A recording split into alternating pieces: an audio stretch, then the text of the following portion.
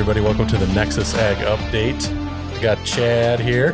Howdy. How are you doing, Chad? Very good. Good. We got good. some rain. Oh, yeah. I was looking. Did you have a gauge out? Uh, I did not, but I know our guest does have a Oh. gauge out. Perry, why don't you uh, introduce yourself? Uh, I don't think you've been on the podcast before. Long time listener, first time uh, caller kind of a thing? Yes, uh, long time, first time. Attaboy. Um, I've got a history with you guys. Nothing good. Um, As long as I'm- it's not a beef. Yeah, we can get through that. I'm Perry Weigle. I'm the seed care specialist for Syngenta for the state of Minnesota, and uh, I uh, work with uh, the Nexus crew, and sometimes not willingly, but you know, it's, It's always uh, willingly. yeah, it's not like we don't have a history or Yeah, something. it's nothing like a uh, very, very, very long history. So what did you uh, do before you worked for Syngenta? Yeah, I was a longtime Winfield seed rep, and you guys were arguably one of my better accounts. And, you know, maybe it was just the amount of time that I, and effort that I put into you guys that uh, we require a lot of hand holding, I think. drug you kicking and screaming Yeah. into, uh, you know, into this realm. But And and to be fair, we didn't pay him a dime to say that to us. So that's that's I appreciate that. Yeah, and you could tell by the bantering that uh, you know that we go way back. But uh, yeah, I did have a rain gauge out, and I think uh, it. I didn't check it up close, but it with my bad old eyes, it looked like we had about an inch total. I was about to say, was it over one or under one? Because I it was was right just, at. I was just right at one. And it was Yeah. raining again this morning uh, on my way here. Yeah. Um, it was raining pretty good. Actually, in your area, once I got past Yeah. 218 south, then it was raining really good. Yeah, and then we had, and that's I put it up after the snow, so we probably had a tenth or two on top of that with uh, moisture from the snow.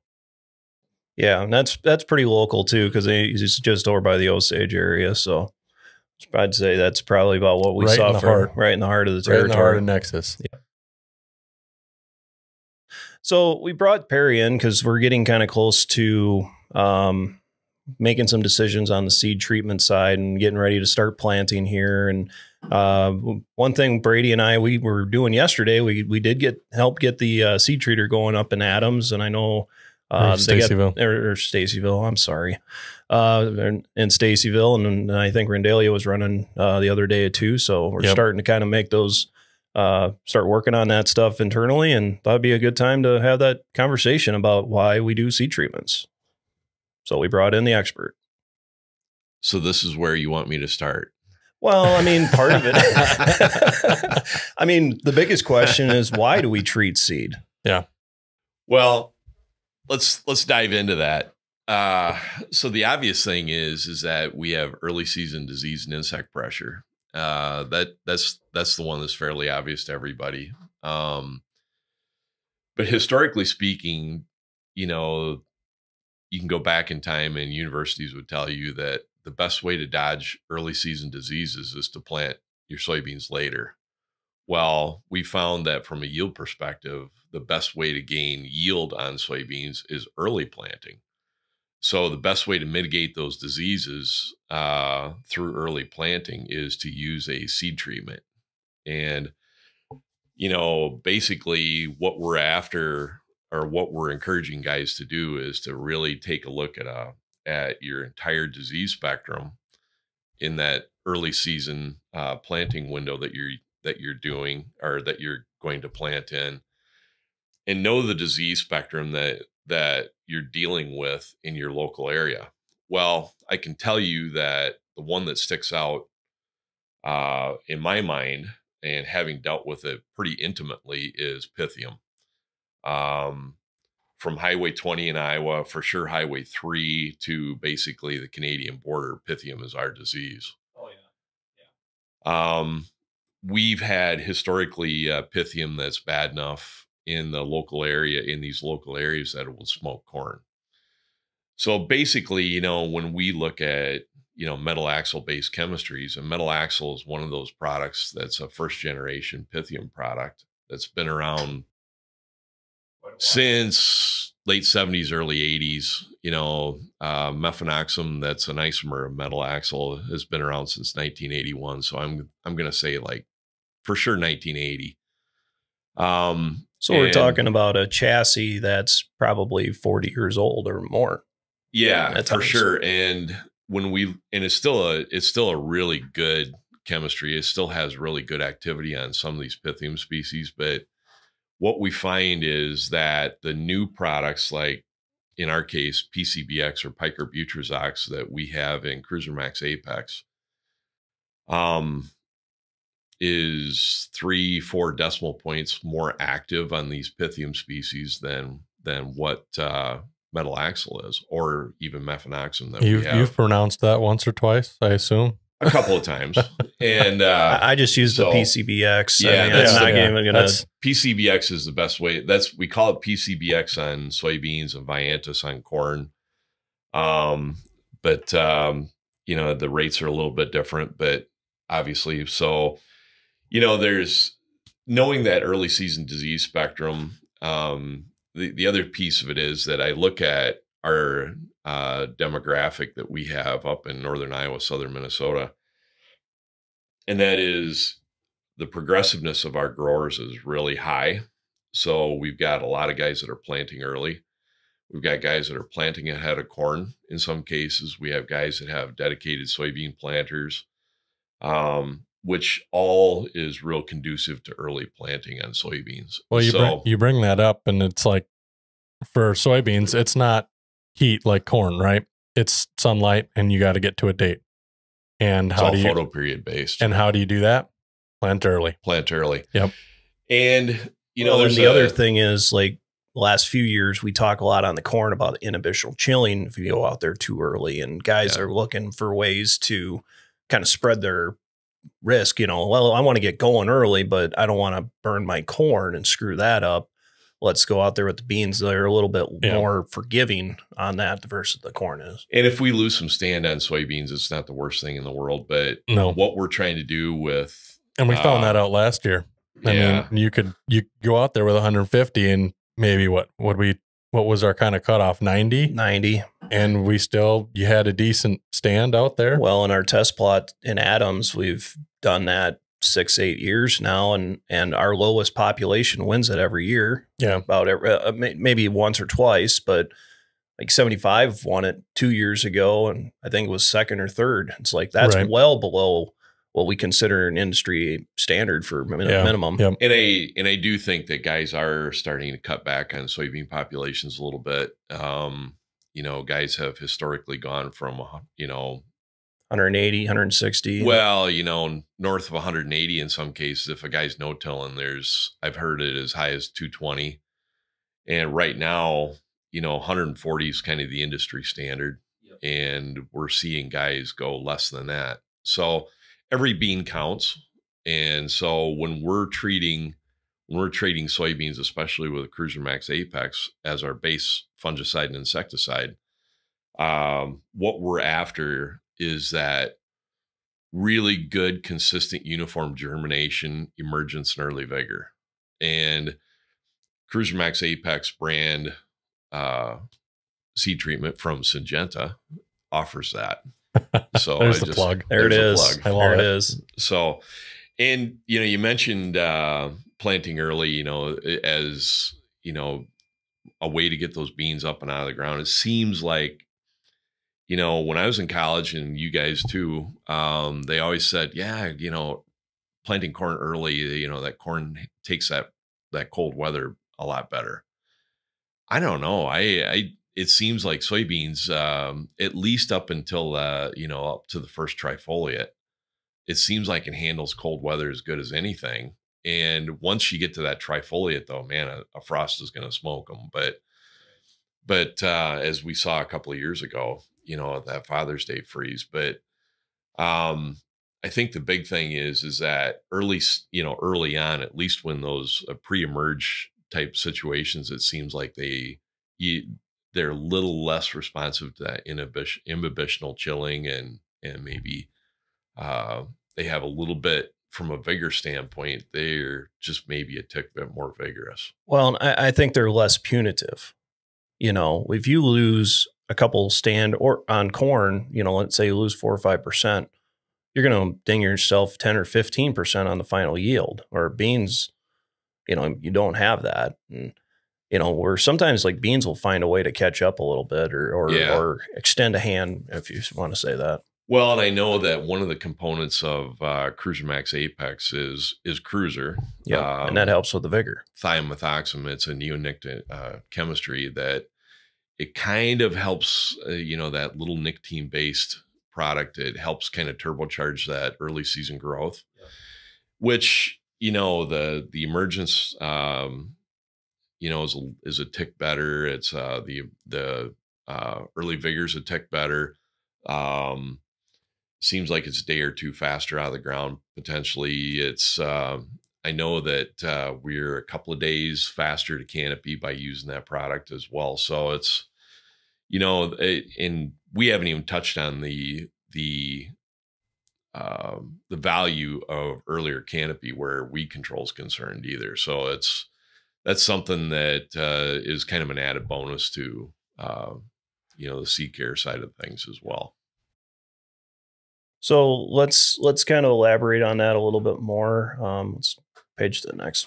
What do you got in the next? So let's go through kind of why we, you know, some with the seed treatment side of things. Sometimes we always worry about when it's cold and wet when it comes to diseases, and obviously the big one for that is Pythium. But sometimes we do get into a trap of, um, well, if it's warm or dry, I don't need to worry about my seed treatment. Uh, is that truthful or is that just hopefulness? I think that that is, uh, you know, that's hope because if you look at the disease spectrum, there's four main diseases, and we're going to throw SDS in on on top of that, so for a fifth.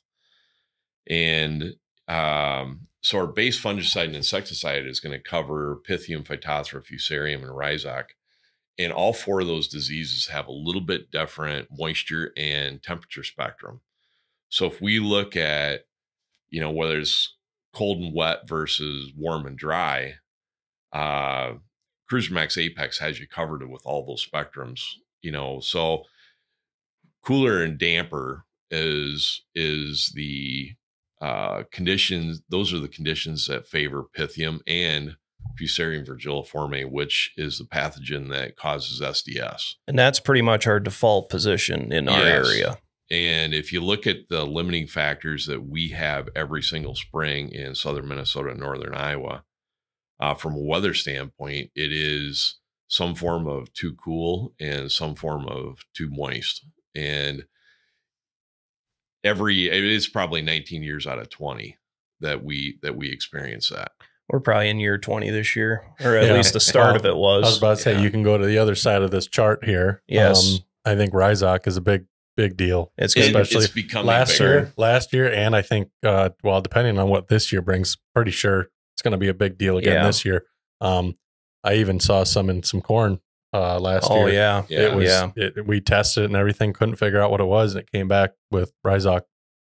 Yeah, and and you know we look at Pythium being our big disease down here, you know, and and if you look at where we find Pythium, it's it's kind of between those tile lines, those weepy side hills, those low spots, anywhere water sits.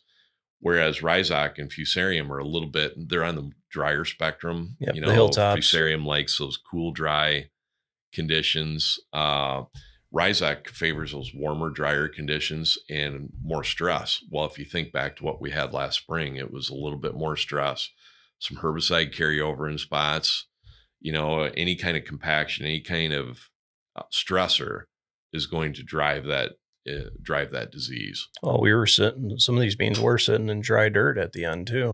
Yeah, correct. Yeah. And then how long were they sitting there? It felt like a month. Well, it's at And least then two all to the- three weeks. And then all of a sudden they're up within the first little bit of moisture they got. I even had some corn in that same scenario. I had uh, a guy that you know planted corn after some rye, and and that stuff sat in the ground for two and a half weeks before we finally got moisture. Yeah. It was crazy. Yeah. And I think too that, you know, we touched on SDS. Um, you know, that that pathogen favor it favors those cooler, damper conditions. But you know, if I didn't know any better, I'd swear that we see a little bit of SDS infection, you know, based on cyst nematode pressure. Yep. Um, the higher the cyst count, you know, it seems like you know those there's such a synergy between those two pathogens that you know, you can see some infection with, uh, you know, SDS through the the cyst, uh, the cyst that we see. You know, the amount of cyst pressure that we see across the area. Do you think the cyst numbers are going up this year, Chad?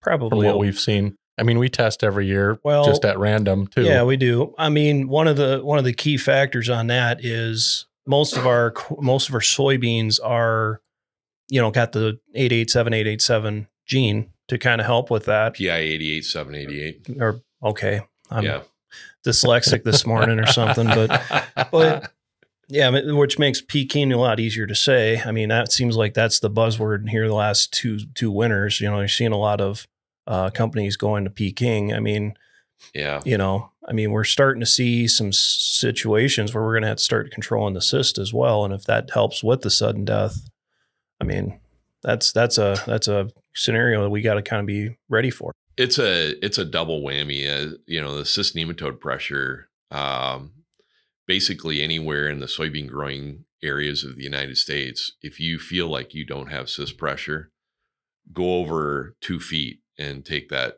and take that test because if you look at the inconsistency of the distribution of cyst nematode on that acre, it's wildly inconsistent.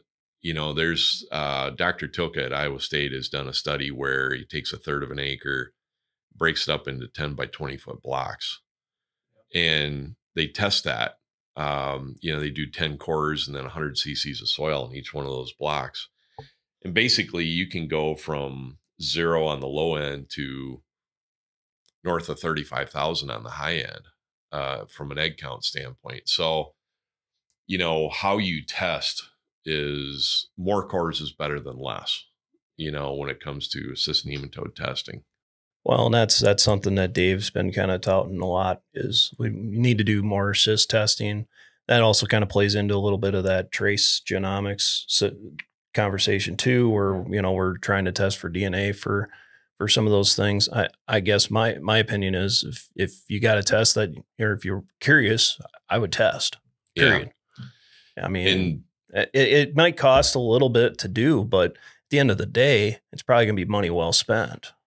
And I'm guessing too that if you feel that you don't have cyst nematode pressure on your soybean acres, um, denial is that river in Egypt. Yeah. You know, it's uh, you know, it's it's it's there. And the best way to get rid of cyst nematode uh, pressure, well, to lessen your uh, risk of cyst nematode is for sure when you're using soybeans is to use a quality, you know, or is to use Saltro uh, brand SDS and SCN uh, treatment from Syngenta, and it's Saltro does exactly what it's it's meant to do, and that is it really um, it really takes care of it does a nice job on those first generation cysts and subsequent generations after that. It it helps to lower that those uh, subsequent generations because it it it does such a good job in that first generation.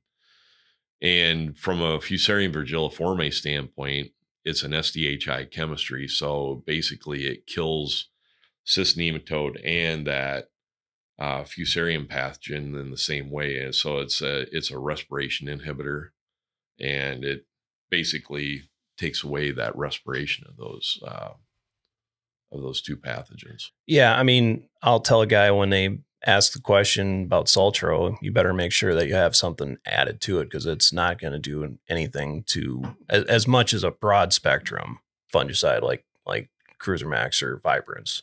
Well, and plus it's uncolored, so we have to put something colored with it Yeah. anyway. Yeah, it's kind of like your your add-on product, Yeah, yeah, it's a um, bolt-on It's product. a bolt-on, yeah, and it's your packaged product. Yeah, and it does, like I said, it does exactly what it's supposed to do. You know, two years ago we had a fair amount of uh, SDS pressure across northern Iowa, southern Minnesota, and um, it seems like along that I ninety corridor, uh, north to probably just south of the cities, and um, that whole corridor uh, had fairly significant SDS pressure two years ago. So we're rotating back into those same fields this next spring Yep. or this this spring and so growers are going to have to decide what they're going to do because the you know from that from that standpoint, the, the inoculum is there. And so when you talk about overwintering of disease, you know, and or, or, I'm sorry, overwintering of insects and the amount of pathogen inoculum that's in these soils, it's it's extensive. And uh, you know, one of the things that we're that we're concerned with, obviously, going into the spring is making sure that that SDS pathogen is taken care of with, because we did see it was a yield limiting event two years ago for the guys that had it. So if you know there were plots out there that where they had treated and untreated beans in the plots and and some of those guys experienced a fair a fairly substantial yield loss to the tune of seven to eight nine bushels ten bushels in some cases so well and just to add on to last year uh anything that was treated was 100% covered yeah, well, I mean, we, we we were in an area that had a lot of replant. It seemed like anybody who was before that certain there was like the March like or May tenth, we had like a really heavy rain event in in our area and crusting, a lot of crusting, a lot of crusting, and uh, one one thing I think made decisions really easy for guys that had a seed treatment. It's like, oh, hey, by the way, it's hundred percent replant. Oh, well, good thing I did yeah, that. Yeah. Yeah, so the seed company will take care of the seed side of it, and we'll take care of the the seed treatment side of yeah, it. Yeah, yeah, and and at that point, that that a lot made sure those guys that did that they actually seed treated the replant too. Yeah, and the beauty of that is, you know, with Cruiser, um, depending on when it's planted, you know, so we earlier you talked about later planting or warmer condition planting, you know, and the and not really needing uh, seed treatment, quote unquote, quote unquote. Well, the the way to throw cold water on that is is to understand what all seed treatments actually cover. So once you're once you're into uh, you know the disease spectrum changes with soil temperature. So as we warm up, that that uh, disease spectrum changes. So you get to about call it 60 65 degrees and we start to see more phytophthora as opposed to pythium. So when we go from cool wet to warm wet, it doesn't mean that the pythium is going away. It just means that we're going to start seeing a little bit more phytophthora on top of that as that soil temperature warms up. So um, anytime that those soil temperatures do warm, you know, we just have a, a disease uh, species shift. And you know we see a little bit more insect pressure as those as those soil temperatures warm up so the overwintering, one of the concerns this this year has been, you know, the lack of winter to kill those overwintering uh, insect populations. And which which insects are you worried about in that scenario, Perry? I would say that uh, this year, you know, it's the one that really sticks out is bean leaf beetle, and um, we haven't really in southern Minnesota and southeast Minnesota haven't had a, a super severe um, bean leaf beetle outbreak in quite some time, but where they have them, it's it's very concerning to the to the growers in those areas. And a, winter like this last one that we experienced, where we had super mild conditions and lack of snow cover, lack of uh, really, you know, we had a couple weeks of cold weather, but that was about it. I got a customer that made a comment to me the other day. He's got a cousin that lives in Illinois. he said, This feels like an Illinois winter around here this year.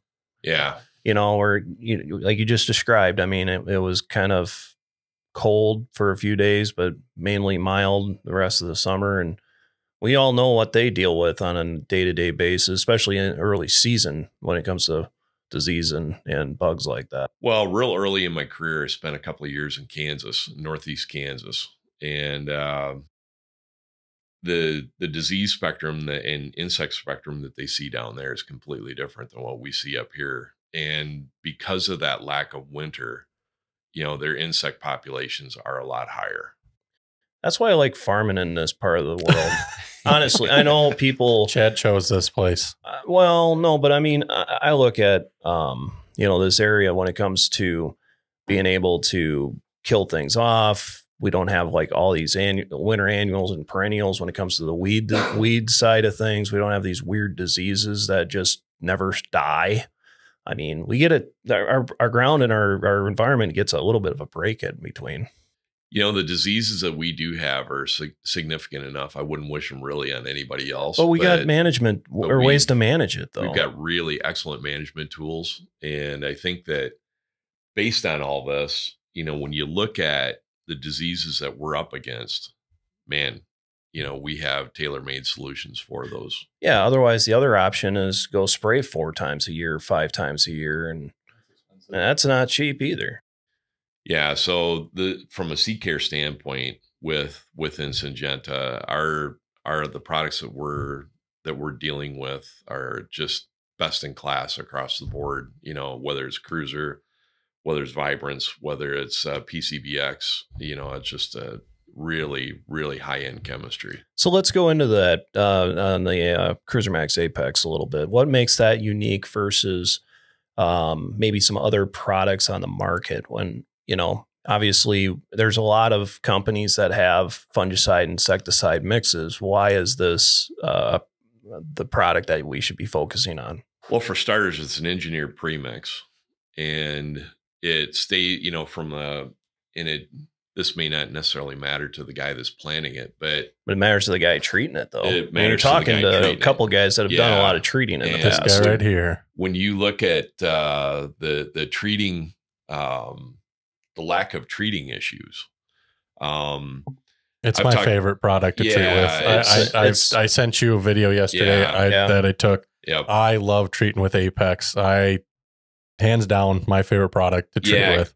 Cruiser Max Apex is it is a tremendous. Vibrance Trio is not too far. It's a little bit further behind, but that treats as well. pretty It's just good, a too. step It- down on the brand ladder. Correct. Yeah. Correct. and and it while we're talking about vibrance trio we'll just touch on that it's missing two really key components uh, that cruiser max apex has got it's missing obviously the apron uh, or the apron xl that is or i'm sorry the, i'm sorry back up a second. It's missing the pcbx from a pythium phytophthora Yep. standpoint and it's got a 4x rate of apron xl in it. Mm-hmm. And it's also missing the the cruiser piece the insecticide piece. And you know those are two really big components that uh, cruiser max apex has got it that uh, vibrance trio doesn't along with a little bit extra red colorant and um, to make those beans really kind of pop Oh, they're awesome. and uh, the the beauty of Syngenta chemistry is it all starts with the formulation side of things. Our formulation chemists are some of the best in the industry, and where Cruiser Max Apex is concerned, there's 21 components to it, and the the keg when you take it off the truck, when you go to treat it, say you take it off the truck in December and you treat it in in March or April, um, the ability to that of that stuff to stay in suspension is unlike any other So chemistry I'll, out there. I'll jump on here with you. Um, so like you said, it always said, you know, always every keg, no matter what keg you do get, always says recirculate, right? Um, recirculate or not, it always comes out looking the same as it does if you, I mean, just carrying it over. And there's products in the past where we've mixed, recirculate for a half hour, whatever we need to do, and it still is just taking down a rock road. yeah, it's still just you know inconsistent. Um, you know, we've actually come to the point where, and you were you were around when we did this, when we like literally kicked it down the shed Yeah. to mix it up because it just it was stuck on the crab was stuck on the bottom. But you can overmix some of those products too. Yeah, where I mean, your product seems like we don't have that shear problem. yeah, yeah, kind of like um, I know you we- mentioned it about we making about butter. it. Yeah, we talked about it a little bit. It's almost like that buttering effect. If you've got that impeller, I hate those impellers. They're great idea, great concept, but some kegs come with those impellers, and if you sit in there and you got a drill that's really kicking, you're you're making cottage cheese instead of instead of actually mixing it. the other thing you're doing is creating a lot of bubbles, Yeah, and from a treating experience standpoint, it's not going to be the best thing for that. well, it's not going to flow through the atomizer real well, and you're not going to Yeah. get good coverage. I tell you what, if you want to um, get to know your filters on your treater setup, mix the crap out of it, kick it around, shake it up, get as much bubbles, air, everything you can in it, and then you'll get to know your filters on your pumps very well. Not well, Not- not- speaking not from the- experience. not the fun way too. You Yeah. know, the beauty of it too is we want everything to come out of that keg and go onto the seed. And with our product, it all comes out of the keg. There's nothing, there's not I've a- had zero problems. Oh, yeah, that's no awesome. film left And- in it. yeah. There's no sludge at the bottom. That's all active ingredient. Yeah. And so, yeah, from a formulation standpoint, uh, our formulation chemists are they're tremendous. Yeah, they know what they're doing. And so, you know, same with uh, Vibrance Trio and Saltro as well. The those formulation chemists, they have it. They Yeah, have uh, it in. and and we've used all three of them. Um, never had never had problems. Um, I know there's been sometimes where we even get two and a halves, and you can see at the bottom of some of these two and a halves of some other products that you know there's just a fil- film on the bottom of you know quote unquote active sitting down there. Um, yeah, never never uh, had a problem handability wise. I just I can't say enough how much I love working with the product. Well, and it does what it's supposed to do at the treater, and it does what it's supposed to do Yeah. going through the In the field. Yeah. and it does what it's supposed to do in the field. I, I just always recommend that guys use a 60 40 talc graphite mix to make sure that it flows out of the planter, you know, just that little extra lubrication, you know, that that's standard with a treated bean. So, Well, let's talk a little bit about this PCBX and uh, why why that's thrown into the mix versus um, you know on the vib versus why why it's not in the vibrance. well, it's uh we're trying to trying to keep uh the brand ladder those rungs in the brand ladder Right. separated and um picarbutrazox or PCBX is it is the newest, most robust Pythium phytophthora, latest generation molecule on the market today. And it's effective against all those Pythium species, you know, that there's literally I don't know, there's probably well over a hundred, uh, maybe in, you know, uh certainly of isolates, there's certainly thousands of isolates out there that uh uh, but yet at the same time, it, the mode of action is not similar to anything else on the market, whether it's ethaboxam or a, a metalaxyl or anything like that.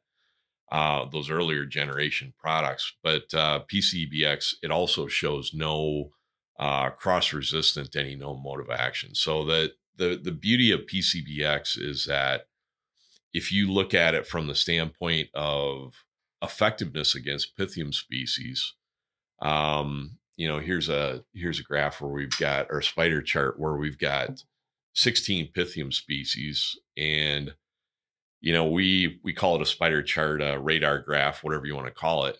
But basically, you take a liter of water and you start adding, or you add in uh, active ingredient. Well, we started at a thousandth of a gram or a milligram. I'm, I'm sorry, thousandth of a gram, and we work up to 100 grams into that into that liter of water and um you know so it's uh i'm sorry milligrams and um you can see the the the difference in activity against those pythium species and what it actually takes to be active against those pythium species based on that based on that. And in most cases uh pcbx is is three to four decimal points more active on those pythium species. Yeah, so anybody that's listening, not following us on on the video, but what it shows is just this big halo with, with all the PCBX at, on the different subsets of of uh, Pythium, and there's a few of them that are getting really rough to control with current products like Metalaxyl, that it's offering almost no control at times, and you know where this has kind of got a nice halo effect on it. Yeah, on that. never say resistant, but I would No, sort of but it- say, it's- it's certainly say less active. Less act. And um, you know, when we look at the activity of those uh, products on those Pythium species, it, it goes back to, you know, driving down the road and scouting at 55 and seeing those dips in the in the crop canopy in between tile lines. You know, the odds are pretty good that, you know, everybody wants to just say, oh, water sat there. Well, what happens when water sits there? You Disease sets in. it's a it's a pythium area within that field And if you know that you're on 70 foot centers or whatever that center is, the odds are pretty good that in the middle of those of those tile lines, you're going to see some you're going to see some pythium, just because water has a tendency to sit in those areas. Well, it's just like anything. I mean, we the practice is that may, maybe some products that we've been using for the past 30, 40 years. I, I like atrazine, for example, on the herbicide side. Wonderful product when it came out. Still use a lot of it. Uh, at the end of the day, uh, we got other control measures that we need to do use because it's not as strong on some pro- uh, weeds that it used to be. Yeah, it's uh, th- that's a really great example of that too. You know, and it's and I think when you look at uh, how well Pythium controls or uh, how hard Pythium is to control for some of the chemistries that are on the market today, uh, up at the Seed Care Institute in Stanton, uh, we always do some experimenting with, uh, or you know, make some demos with, where we take a petri dish with agar in it, and you put a plug in it that is inoculated with disease and you put um, some soybeans in it, whether they're untreated or treated with metalaxyl or ethaboxam, or in this case, PCBX. The cool thing about the PCBX is that in on these agar plates, it's a medium that really is conducive to the growth of that of that fungal pathogen. Yeah, there's nothing holding it back. There's nothing holding it back. So when you see uh, an untreated bean in there, for the folks that are not treating their beans, um, the the fungal pathogen will overtake that that uh, petri dish just in a matter of hours and maybe a day, um, and basically kill those beans. Um, then you get into methyl, metalaxyl and ethaboxam treated uh, uh, soybeans, and in some species the metalaxyl will, will look fairly decent until you hold it up to the light and see that you'll see that mycelial growth or the that fungal growth out to the you know out to the edge of that. Whereas you know looking at it at a distance it looks pretty good. Uh, whereas pcbx uh, the the the value that that thing brings to the table that molecule is that you get clean crisp lines in the and there's no mycelial growth past where those soybeans are and that active ingredient uh, really inhibits that growth of that mycelia or that inhibits that mycelial growth of that fungal pathogen. Yeah, it's it's a cool cool test. I think uh, I think I had these slides in our slide deck at Yeah. our winter summit last Yeah, year. I was going to bring that up. You had you had them, and we kind of Yeah, walked through it a little bit. And I know you helped And- with that too. Yeah, and we'll we'll do some of these uh, live demos, and the and the value of them are, are the value of that live demo is basically holding that holding at bay. holding that that dish up to the light and seeing the mycelial growth out to the edge of that dish. So, yeah, it uh, it does exactly what it PCBX is a molecule that does exactly what it's supposed to do, and it really does a really it's best in class against Pythium and Phytophthora. You want to touch on some of the stuff that we have now, or Um, yeah, I mean, we kind of talked about s- Saltro and some of those things like that. Um, one thing we did do, we did some upgrades in our facility in Stacyville this this winter, um, to the point where we do we can treat a lot more products and, than we had before. yeah, we got a couple more mixed tank, a couple or more mixed, uh, scales. pump scales. Yep. Um, on top of that, we did get uh, uh, something a Flex Connect system. Yep, for the Preside uh, inoculants. Yep, so to work with our inoculant. So the biggest problem we were having in the past is once you open it, you kind of are on a. you got ticking time. time clock. Yeah, Uh, this is a closed system. It's a closed system. It's it's sterile, so um, you're not mixing the two products together. What happens a lot of times with your fun or your inoculants, since you you have like an extender uh, product that's Yeah, added You to kind it, of have that oil, and then you've got the living organism. Yes, yeah. So what when they send that to us, I mean, they ship it in two separate bags, bladders, tanks, whatever you want to call it. Yep. But then you mix the two together, and then uh, once you start that, though, then the process of of getting them fired up, and then and then the other side of it is if they're fired up, that could, cause them to die at times. Great for in season, but uh, not Yeah, so great Not for so great like for this, March right? and end of February when we want to get started on our treating. Yeah, because actually the the product we're going to be using is uh, Preside Ultra from um, Degen, and, Yep. and they've done a lot of studies on that. Where you know even in a 24 to 48 hour period in a in a vat, I mean we're seeing some some really decent mortality at that point. So Yeah, the cool part about this is that it's it, they're they're still in a bladder, so there's still um the chance for it to live and and and and coagulate and whatever it Yep. needs to do. Um, we have seen some in the past if it comes in you know a keg or a closed uh, uh, two and a half, um, the efficacy of the product doesn't seem to be there. Um, so that's one thing I liked about it. The second thing I liked about it is yeah, it's literally just screw screw and then you're done. You know, Well, the the other reason we went with that one too, or we're moving towards that, um, the, you know, the counts on it are are about double what you know what we see in other other setups, and and then and then the other part is um, it's got that tag team in there, or or, or no, a takeoff, the takeoff technology in there, yeah, it's well and, it- and, that kind of helps with that um, nitrogen and nutrient assimilation in the in the ground. So, guys, why should it? Why should your growers inoculate their soybeans? Well, um, I just actually that's on the tip of my tongue because I was doing a webinar over the weekend on it.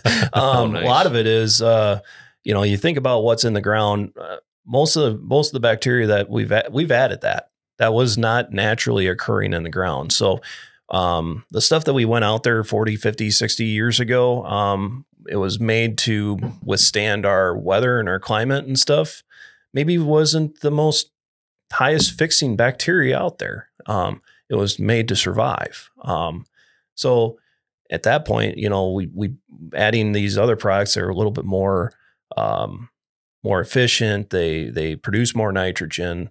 When you think about beans, I mean, you're talking four to five pounds of nitrogen per bushel is a is the requirement. Well, we're not throwing any 300 pounds of nitrogen No. out there. When's the last time you know somebody put nitrogen on their beans? Oh boy, I mean, we got to some guys doing some testing at like R1, R2, you know, with some AMS or something like that. But but then that's not real cost effective either.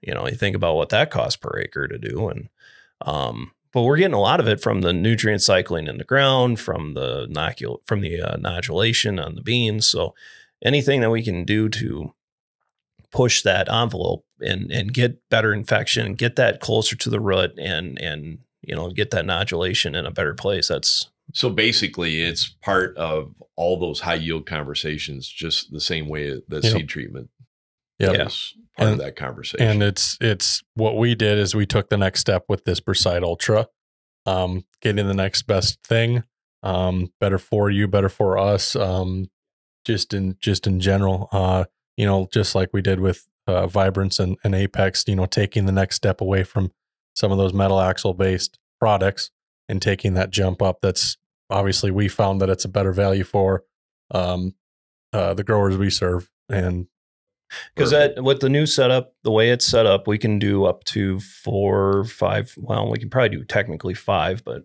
probably not going to do five but Yeah, four we- for sure We've got yeah, we've got five we've got five stands. Um but one of them is going to be kind of your fungicide stand or your fungicide insecticide stand Yep. so so we're able in my opinion, we're able to go a little bit quicker because we're not disconnecting and connecting, uh, recirculating, bleeding out lines. Um, it's just okay. We go from one line to the next to the next. Everything's all connected. yep Um, it's less downtime.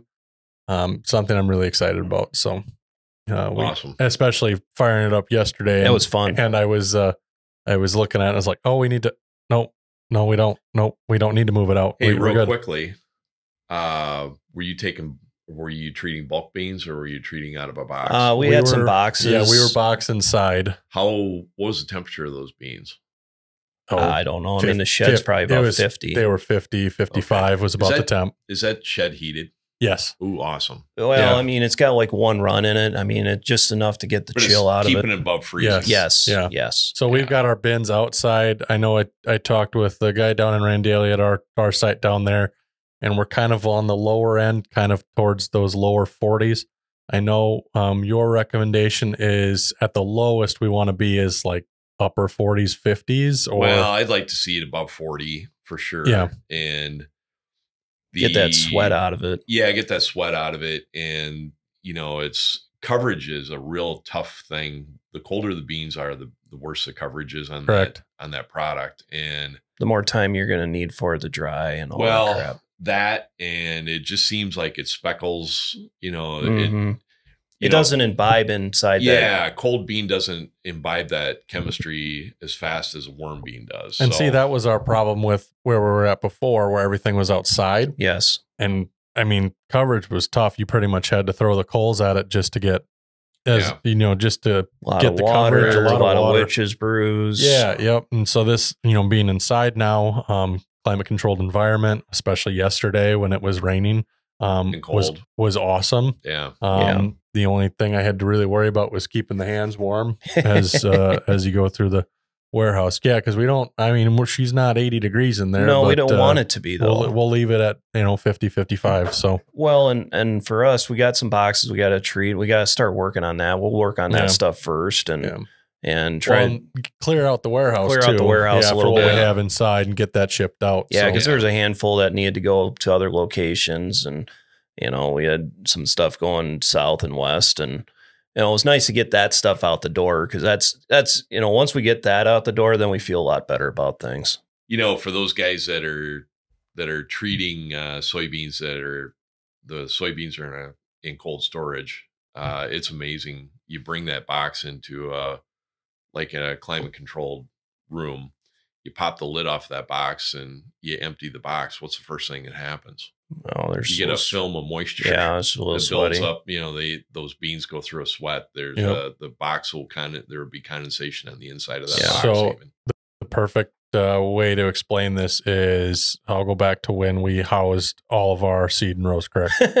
Um, so we had that Butler building filled to the gills, and you'd start. It'd always be you'd start down the middle because that's was that was the easiest. That was the most uh, frequent stuff you're going to get in and out of there, and you'd get a row out and say you've got a fifty some degree day, maybe sixty some degree day or outside. seventy or eighty. Yeah, and you drive in there and it felt like a cooler in there Yeah. because everything was still cold. And then you Yeah. looked at the boxes and they were wet.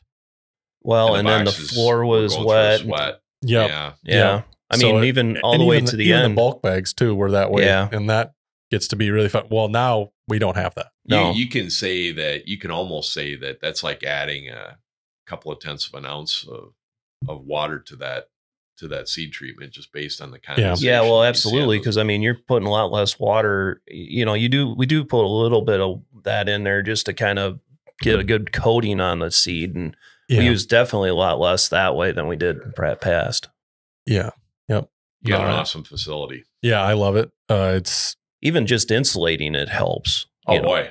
Yeah. You know, I mean, it's and originally it wasn't going to be totally heated. We actually had an extra heat runner, like put it in here. yeah. It didn't it didn't fit for where it was gonna go. And I was like, oh, twist my arm. Let's throw it in the seat side. Yeah, we just we actually just got right over like the the drive in the loading bay and stuff, and that's that's enough to heat that whole whole building. And that's Yeah. radiant. It's just too. radiant. Radiant, too, yeah, yeah. That's Yeah. awesome. Yep. though, is if you've got good insulation in there, that's all you need. yeah. Yeah, no, it's it's awesome. It's a good uh good setup we got here. It almost uh I almost want people to go through this the the old Rose Creek way just to appreciate this this more cuz you know, for the guys that are doing Yeah. it now, we'll never appreciate the way that, you know, John and Jordan and I used to treat beans Ashley used to treat beans out the Oh yeah. outside. Yeah, you think about in shout April out to our shout out to our old buddy John. Um, you think about how many beans were treated out of that facility. Oh, yeah. It was tens It was of nuts. thousands. well, and and the method.